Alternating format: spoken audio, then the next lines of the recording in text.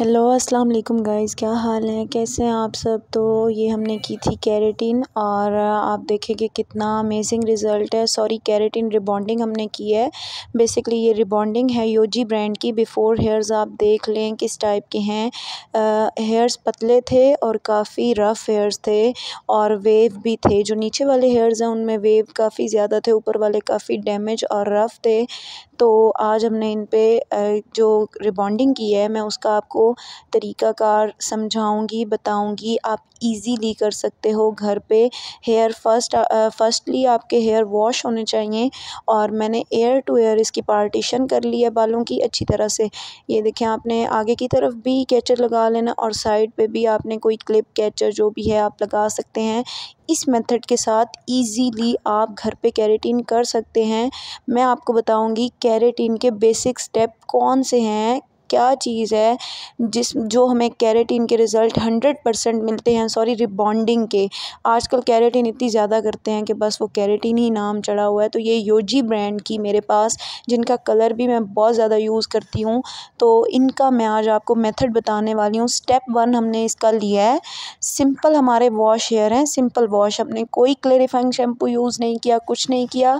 और virgin hair हैं, totally virgin hair पे हम कर रहे हैं, ये रिबॉन्डिंग। तो हमने पहले एक बारीक पतला से, सेक्शन लेना है बालों का और उस पर हमने अप्लाई कर देना है कैरेटी ये हमारी जो रिबॉन्डिंग है। बहुत ही लेस क्वांटिटी हमने लेनी है ब्रश के साथ लेंगे टैप टैप करेंगे और ब्रश को खड़ा करके चलाएँगे और ज़्यादा रूट्स में नहीं लगाना। आप देख सकते हैं कि मैंने रूट से हाफ़ इंच हेयर्स को छोड़ दिया है और मैं इसको नीचे की तरफ़ मर्सीफाई कर रही हूँ बालों में अच्छी तरह। और ये देखें लाइट सा मैंने कॉम किया है। कॉम को बहुत ज़्यादा नहीं चलाना कि हमारी जो प्रोडक्ट है वो बाहर ना आए।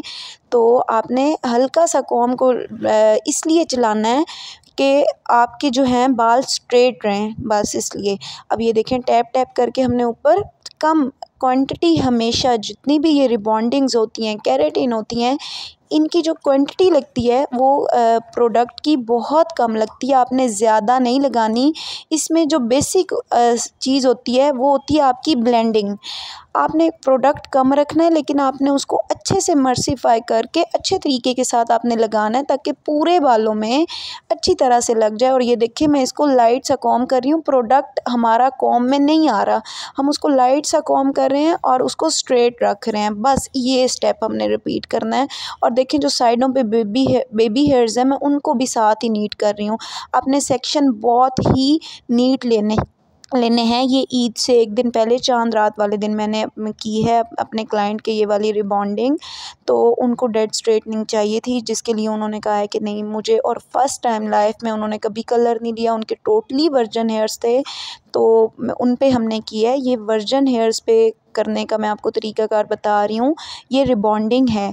अगर आपने इसको ट्रीटेड हेयर पे करना है तो वो भी मैं आपको बताऊँगी कि किस तरीके से हम कर सकते हैं। तो ये देखिए, इस तरह से आपने एप्लीकेशन बहुत अच्छे तरीके से करनी है प्रोडक्ट की क्वांटिटी कम रखनी है। हम प्रोडक्ट को भर भर के लगा देते हैं, जबकि इसकी नीड नहीं होती। प्रोडक्ट को भर के लगाने से काम नहीं होता।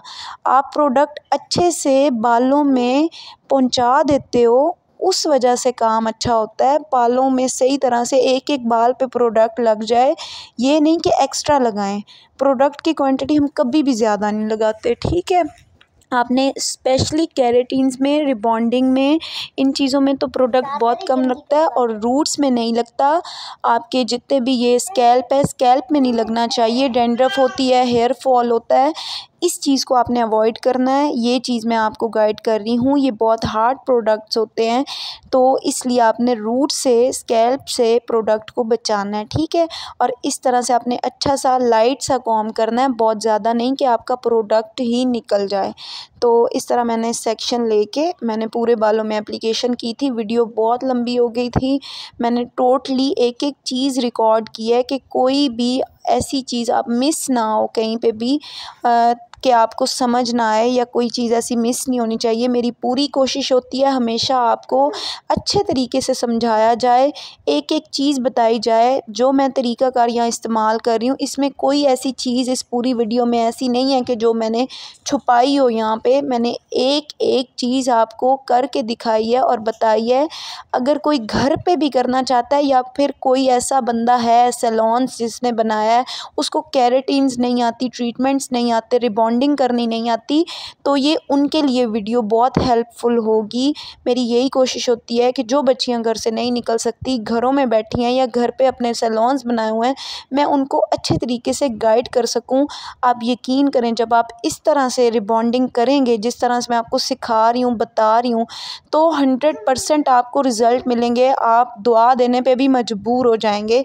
आपको ऐसी मैं इसमें टिप्स बता दूँगी चीज़ें, जो रेली सलोन्स पे भी आप सीखने जाते हो, आपको कोई नहीं बताता। मेरा इसमें यही होता है कि मैं जितना हो सके किसी की हेल्प कर सकूँ, अगर किसी को समझा पाऊँ, बता पाऊँ। कुछ लोगों को बच्चियाँ होती हैं हाँ पाकिस्तान में मतलब मोस्टली हमारा तबका बहुत नॉर्मल फैमिलीज़ हैं तो जो अफोर्ड नहीं कर सकते तो वो प्रोडक्ट लेके ख़ुद घर पे कर लें। तो ये चीज़ भी मेरी कोशिश होती है कि मैं इस गाइड कर दूँ कि बच्चियों को समझ आ जाए। और अदरवाइज़ अगर आपको एक ट्रीटमेंट का पता है कि ये हो रहा है और आप सैलून पे जाते हो, आपके पास कम से कम अवेयरनेस होनी चाहिए कि आप जो हैं, आप देखें कि आपके ऊपर क्या काम हो रहा है। सैलॉन्स में आप हैं तो कौन आप पे सैलॉन्स वाली क्या यूज़ कर रही हैं? कौन से प्रोडक्ट यूज़ कर रही हैं? ये आपका हक़ है, पूछना भी आपका हक़ है। तो आप इस चीज़ को बस मैं इसलिए गाइड करती हूँ कि अगर आपको अवेयरनेस भी मिले, अगर कोई करवाना चाहता है सलोन्स पे जाके तो उसके पास अवेयरनेस हो, ये क्या ट्रीटमेंट है, क्यों है, क्या रीज़न है, हर चीज़ का, ठीक है? हमने बैक साइड पे अच्छे से एप्लीकेशन कर ली, हम फ्रंट पे आ गए। फ्रंट वाले जो बालों का आपने एक चीज़ नोटिस करनी है कि कानों एयर टू एयर पार्टीशन का मतलब होता है एक कान से दूसरे कान तक, पीछे वाले बाल पीछे, आगे वाले आगे। सेंटर मांग ले के हम फिर उसकी सेंटर पार्टीशन कर लेते हैं। और इस तरह से आपने कैरेटीन्स में रिबॉन्डिंग में, इन चीज़ों में अपने बाल आगे को रखने हैं। इस तरह से आपने एप्लीकेशन करके बालों को स्ट्रेट रखना है, आगे रखना है और आपने क्लाइंट को कहना है कि सर को ज़्यादा मूव नहीं करना, हिलाना नहीं है, बालों में वेव ना आए। ये हमारा स्टेप वन होता है, ठीक है? इसके बाद हम स्टेप टू अप्लाई करते हैं। स्टेप वन जो होता है, ये हमारे क्या करता है, मैं आपको आगे मज़ीद इसका बताती हूँ। फर्स्टली तो आपने एक एप्लीकेशन करनी है। बहुत अच्छे तरीके से जिस तरह से मैं कर रही हूँ, आपको बता रही हूँ, इस तरह से आपने एप्लीकेशन करनी है। ठीक है? अब ये पहले तो पीछे वाले बालों को एप्लीकेशन हमने की। वहाँ पर तकरीबन एप्लीकेशन में मुझे दस मिनट लग गए। इधर पीछे हमने ट्वेंटी मिनट्स या ट्वेंटी फाइव मिनट्स हमने प्रोडक्ट को लीव करना होता है बालों में। फिर किसी के जल्दी भी हो जाता है आ, काम हो जाता है किसी के लेट होता है। अब ये कैसे हमने चेक करना है तो इसके लिए आपने पंद्रह मिनट बाद बालों को चेक करना है। मैं आगे इसी वीडियो में आपको बताऊँगी कि आपने चेक कैसे करना है।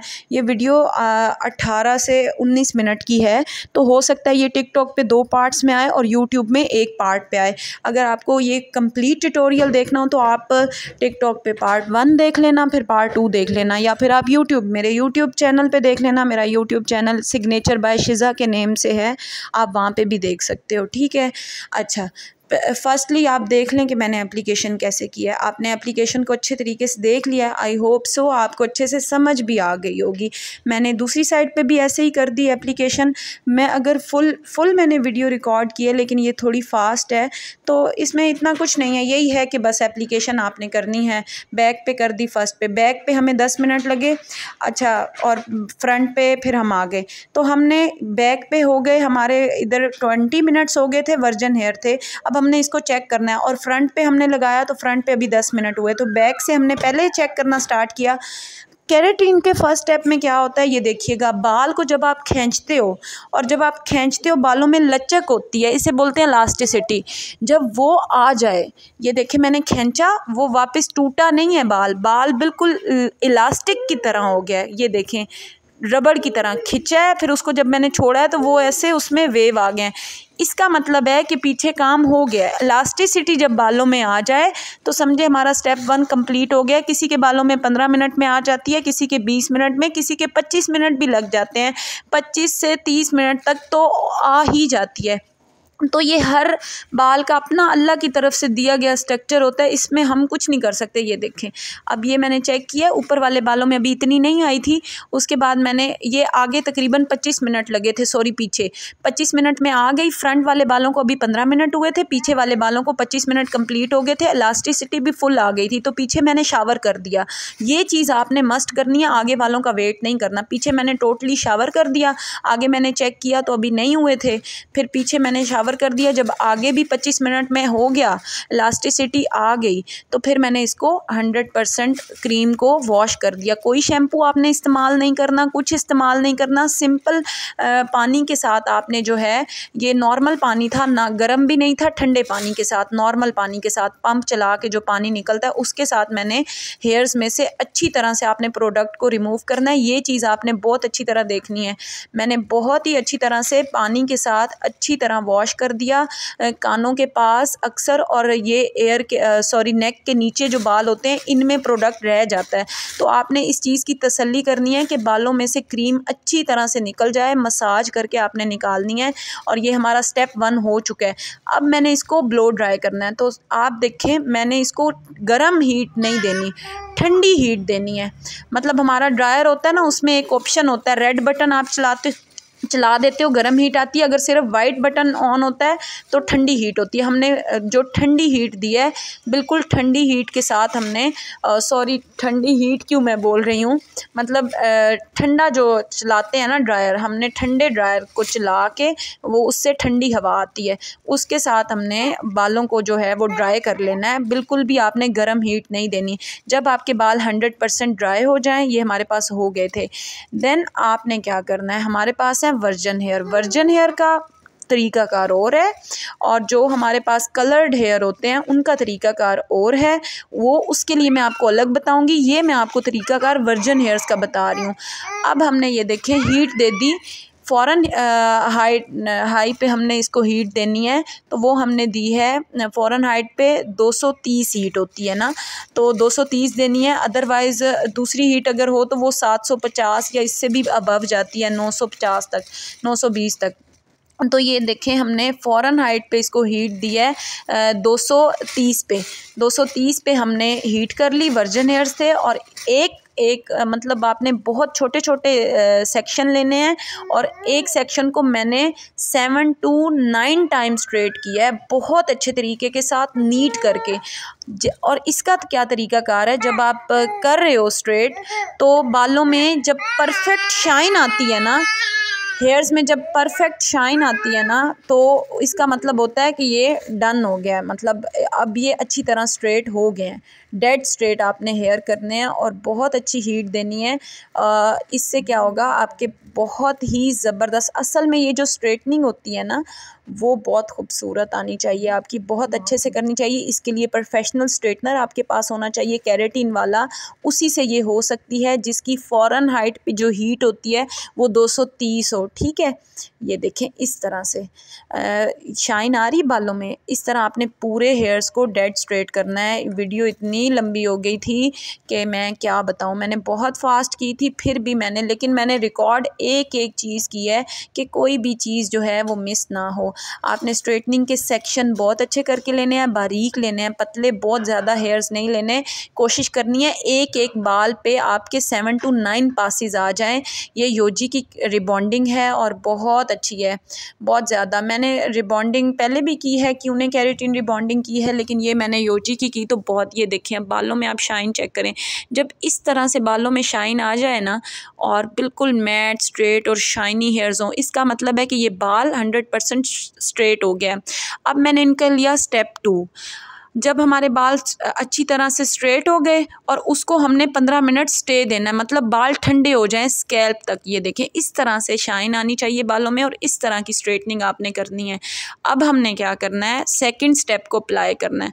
सिंपल छोटे छोटे पार्ट में लूँगी और मैं सेकंड स्टेप को अप्लाई करूँगी। आपने ये देखें क्वांटिटी बहुत कम रखनी है। क्वांटिटी आपने बहुत ज़्यादा नहीं रखनी। और इस तरह से आपने खड़ा करके ब्रश, मेरे पास एक हार्ड ब्रश है हेयर्स वाला, खड़ा करके आपने चलाना है और अच्छी तरह प्रोडक्ट को मर्सीफाई करना है और इस चीज़ में आपने एक चीज़ बहुत नोट करनी है, इसमें कि आपने बालों को बिल्कुल स्ट्रेट रखना है, बालों में वेव ना आए कर्व ना आए, ये न्यूट्रलाइज़र क्रीम होती है आई मीन फ़िक्स जहाँ पे बाल फिक्स होगा, फिर एक साल की गारंटी है इसकी सिक्स मंथ तो कहीं नहीं जाते, अगर आप केयर लेते हो तो आप आफ्टर आफ्टर केयर में लाजिम है, आपको शैम्पू कंडीशनर मास्क लेना चाहिए और मैं इसको रिकमेंड करूँगी कि आप योजी का ही शैम्पू लें योजी का ही मास्क लें। बहुत रीज़नेबल भी है कैरेटिन आफ्टर कैरेटिन शैम्पू उनका आता है और मास्क आता है। अगर आप, किसी ने भी लेनी हो तो आप मुझसे रबता कर सकते हैं। बहुत ही रीज़नेबल इसके प्राइस हैं। ये आई थिंक दस हज़ार, पूरा पाउच पाँच सौ एम एल का जो है पाँच सौ एम एल का एक पाउच है, फिर पाँच सौ एम एल का दूसरा पाउच है और ये एक हज़ार एम एल स्टेप टू जो हैं हमारे आते हैं इसके। योजी ब्रांड के और ये एक हज़ार दस हज़ार, सॉरी, दस हज़ार पाँच सौ की है। तो इस तरह से ये देखें, आपने इसको अप्लाई करना है। अप्लाई करने के बाद अप्लाई करने के बाद पाँच मिनट दस मिनट हद पंद्रह मिनट में ये स्टेप कंप्लीट हो जाता है। आई मीन mean, बाल आपके ये पंद्रह मिनट लेते हैं और इसके बाद आपको आ, क्रीम को वॉश करना होता है। अब ये हमें कैसे पता चलेगा कि पाँच मिनट लगाना है या दस मिनट? तो जब आप अप्लाई करते हो क्रीम उसके बाद अगर तो दस मिनट में बारह मिनट में हद पंद्रह मिनट में उसमें क्या होता है कि हल्का सा बाल ऐसे फील होता है कि जैसे ना इकट्ठा हो रहा है, जैसे बाल एक जल के होता है ना थोड़ा सा तो वो वाला, वो वाली चीज़। तो अगर तो आपको फ़ील हो कि बाल ऐसे हो रहा है तो आप फ़ौर वॉश करवा दें। अदरवाइज़ मैंने इनके किया था ना तो इनके सेवन टू नाइन मिनट्स में रिज़ल्ट आ गया था। तो मैंने जो सेवन टू नाइन मिनट्स में बालों को मैंने शावर कर दिया था, जिन पे रिज़ल्ट आ गया था सिर्फ़ उन हेयर्स पे। तो हद पंद्रह मिनट ही ये लगती है न्यूट्रलाइज़र क्रीम जो सेकंड हमारा स्टेप होता है। पंद्रह मिनट से ऊपर टाइम तो आपने देना ही नहीं है। अच्छा nine to seven to nine minutes क्यों? इनके बाल पतले थे। पतले थे रफ़ थे, बहुत पतले हेयर्स थे, काफ़ी पतले थे रफ़ थे, जिस वजह से वो हद दस मिनट में हो गए थे। तो ये चीज़ आपने ख़ुद देखनी है कि आप देखोगे और आपने बार बार इसमें कॉम नहीं करना। ये देखिए, मैं सिंपल एक सेक्शन ले रही हूँ, उस पर सेकेंड स्टेप को अप्लाई कर रही हूँ। क्वान्टिटी कम है रूट्स में मैं नहीं लगा रही। ये इसकी बेसिक चीज़ें हैं जो आपने नोट करनी है। ये देखें और इस तरह से फ्रंट वाले बालों को फ्रंट पे रखना है बैक वाले पे बैक बैक पे। और उसके बाद जो आपने है, वो मैंने पीछे वाले बाल और आगे वालों पे अप्लाई किया था। पीछे वालों पे पहले मैंने शावर कर दिया था दस मिनट बाद और फिर आगे वालों पे जब दस मिनट पूरे हुए तो मैंने पूरे बालों को वॉश कर दिया। और ये आप देखें कि मैं सिंपल ड्राई कर रही हूँ। सिंपल ड्राई कर रही हूँ। गरम, इस बार हम दे रहे हैं गरम हीट दे रहे हैं। मतलब आप जो ठंडी, ठंडा हमने ड्रायर नहीं लगा करना हमने गर्म हीट देनी है। आ, उसके साथ मैंने बालों को ड्राई किया और आप देख सकते हैं रिज़ल्ट ये ड्रायर से रिज़ल्ट हैं। कोई स्ट्रेटनिंग नहीं की कुछ नहीं। स्टेप टू के सॉरी रिबॉन्डिंग के ये रिज़ल्ट हैं फ़ाइनल और ये आप चेक कर सकते हैं। शाइन चेक कर सकते हैं। ग्लो चेक कर सकते हैं। बालों की कितनी रिपेयरिंग भी हुई है और बालों की फ़ाइनल लुक आप देख सकते हैं। और ये बहुत रीज़नेबल बहुत अच्छी रिबॉन्डिंग है। आप अगर करना चाहें और मज़े की बात है इसके साइड इफ़ेक्ट नहीं है। जब ये ख़त्म होती है हेयर फॉल नहीं होता और ये बहुत ज़बरदस्त है, बहुत अच्छी है। तो बहुत बहुत मज़ा आया। मुझे तो ये रिबॉन्डिंग यूज़ करके क्लाइंट पे मेरा क्लाइंट भी बहुत हैप्पी था। आ, वीडियो मैंने आज ही एडिट की है। मुझे ईद वाले दिनों में टाइम नहीं मिला। तो ये फ़ाइनल रिज़ल्ट आप चेक कर सकते हैं। आई होप आपको अच्छे से समझ आई होगी और आपको अच्छे तरीके के साथ पता चल गया होगा कि रिबॉन्डिंग कैसे की जाती है और कैसे उसके अच्छे रिज़ल्ट आते हैं। ओके अपना ख्याल रखिएगा। अल्लाह हाफिज़।